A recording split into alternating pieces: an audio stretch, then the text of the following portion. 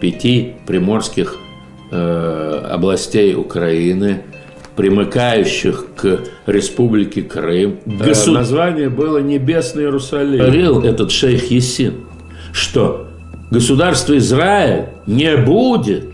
Примерно так 22-25 Дух истин глаголь через пророков, через тех, которые, так сказать, имеют контакт с миром невидимым.